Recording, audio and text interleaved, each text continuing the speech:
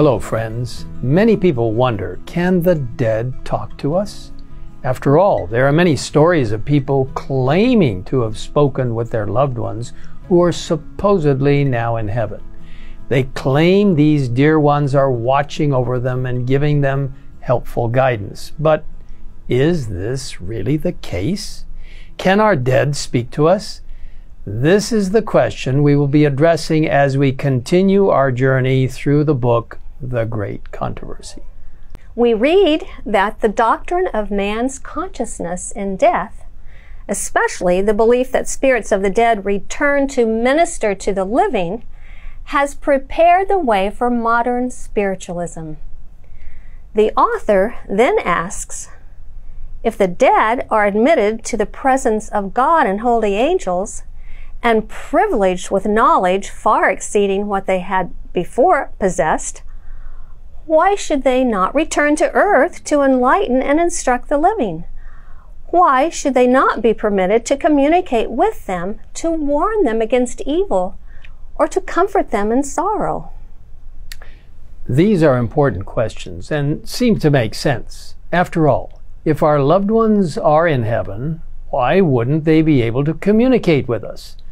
These questions lead us back to a related topic that we addressed in an earlier video regarding what happens when a person dies. As we saw, the Bible describing death as a sleep, a completely unconscious state in which the person remains until the resurrection. Ecclesiastes 9, verse 5 assures us that the living know that they will die, but the dead know nothing. And later in that same chapter, we read, Whatever your hand finds to do, do it with your might. For there is no work, or device, or knowledge, or wisdom in the grave where you are going.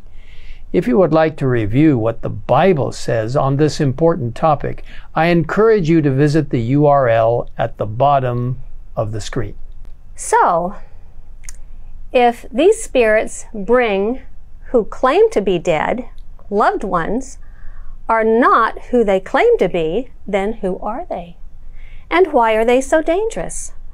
From Scripture, we understand that these beings are actually seducing spirits who teach doctrines of devils. Ellen White writes, Here is a channel regarded as sacred through which Satan works for the accomplishment of his purposes. The fallen angels who do his bidding appear as messengers from the spirit world. While professing to bring the living into communication with the dead, the prince of evil exercises his bewitching influence upon their minds. It is through these evil spirits who have the power to perfectly counterfeit a dead loved one in looks, word, and tone that Satan promotes some of his most wicked teachings, and he does it in a very deceptive way. He often causes to appear the likeness of those who died without having given their life to Jesus, claiming they are happy in heaven, thus promoting the error that it doesn't matter how one lives their life, at the end of the day, we all end up in heaven anyway. In the great controversy, we read that these pretended visitants from the world of spirits sometimes utter cautions and warnings which prove to be correct. Then, as confidence is gained, they present doctrines that directly undermine faith in the scriptures. The inspired author continues the fact that they state some truths and are able at times to foretell future events gives to their statements an appearance of reliability, and their false teachings are accepted as if they were the most sacred truths of the Bible. My friends, this is spiritualism and it is very dangerous. Those who participate in it are giving the devil a direct path into their hearts and their minds, turning them away from the truths of Scripture. The Bible clearly warns us to test the spirits whether they are of God, and to the law and to the testimony. If they do not speak according to this word, it is because there is no light in them.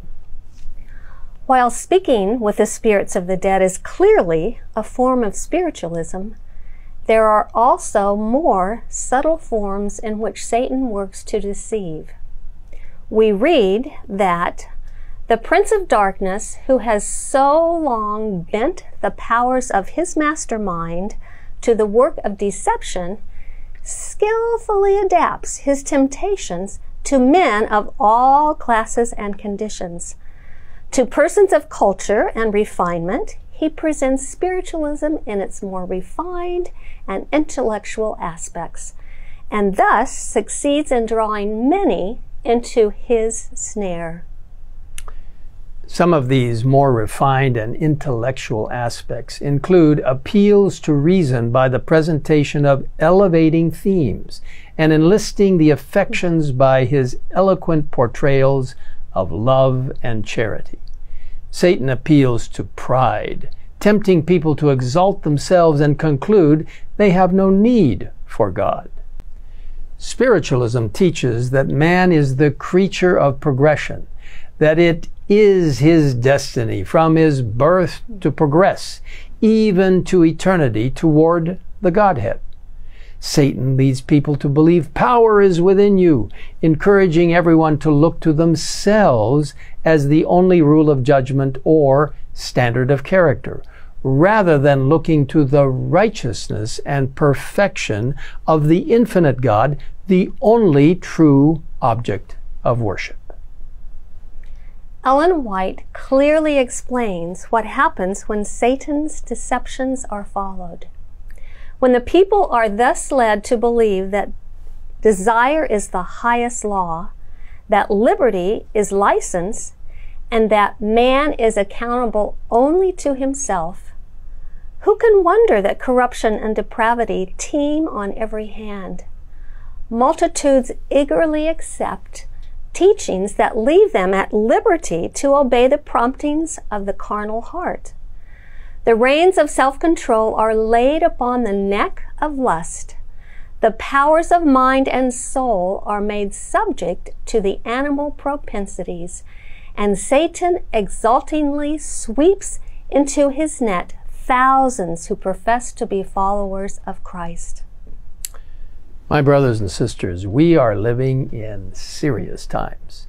And Scripture warns us that just before Jesus comes, there will be the working of Satan with all power and signs and lying wonders, and with all deceivableness of unrighteousness. However, Satan can never force anyone to yield to his temptations. We are told that those who are earnestly seeking a knowledge of the truth and are striving to purify their souls through obedience, thus doing what they can to prepare for the conflict, will find in the God of truth a sure defense. She continues, He would sooner send every angel out of heaven to protect His people than leave one soul that trusts in him to be overcome by Satan. This is where our safety is, friends, listening to God and following his word. We do not need to be deceived by Satan, for God is much stronger. As we lean on him, he will show us the way. I invite you to pray with us just now. Father in heaven, guide now as we commit our lives into your hands, recognizing that the Word of God is clear and it is powerful. Help us not to be deceived by any evil spirits or by Satan himself.